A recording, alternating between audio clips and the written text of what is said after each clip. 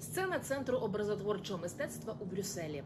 Близько сотні молодих музикантів з України відшліфовують програму перед прем'єрою. Діти з двох хорів вогник і дзвіночок.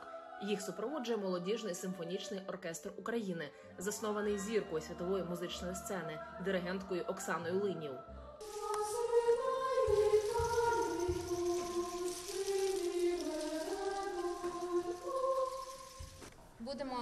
Виконувати твір, присвячений пам'яті Володимира Вакуленка. Татусева книга збірка дитячих віршів Володимира Вакуленка. Під час окупації Харківщини росіяни викрали письменника. Згодом тіло Володимира знайшли у братській могилі. Вражена трагічною долею письменника, Оксана Линів вирішила вшанувати його пам'ять музичним твором. Вірші, які Володимир написав для свого сина, якого виховував сам, стали близькими і маленьким музикантам, котрі застали війну, а дехто втратив батьків. Вони самі говорять про те, що я думаючи, е, граючи цей твір, я думаю про свого батька, і таким чином це для кожного є дуже дуже особиста тема. Але все-таки залишається, залишається якесь світло, залишається якась надія. Написати музику Оксана доручила українському композиторові, з яким здійснила вже не один проєкт. Євген Оркін давно живе та працює в Німеччині. Він використав вірші з дитячої збірки, записи очевидців, котрі бачили Володимира в його останні дні, а також записи зі щоденника, який письменник вів окупації. Так народилась кантата Татусева книга.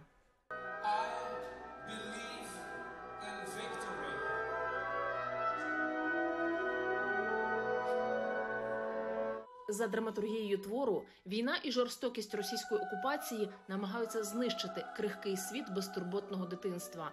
Але батькова любов, закарбована у віршах, створює для дітей місце затишку і сили. Ви знаєте цей фільм е, Життя чудове. Це майже така ігра, така гра, в якої можна переварити і якось передати реальність дитині, але не навантажувати і перевести на рівень гри якоїсь, щоб не налякати. Яскравий приклад культурного обміну. Так цей концерт розцінили глядачі. У Бельгії ми мало що знаємо про Україну, тобто нам чимало відомо про війну, але на жаль, про культуру знаємо мало. І концерт дає шанс це виправити.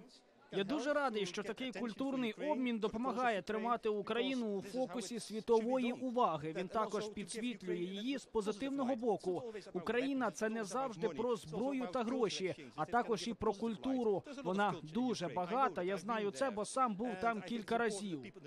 Оксана Линів має намір представити кантату Татусева книга і на інших сценах в Європі. Це дуже важливо для батьків Володимира Вакуленка, які зараз опікуються його сином, каже диригентка. Вчора подзвонили до пані Олени, до мами Володимира Вакуленка, до бабусі. І е, це був дуже зворушливий момент, тому що ми поспілкувалися. Їй розповіла, як красиво це звучить, що ці хори, що вони звучать просто як ангелики.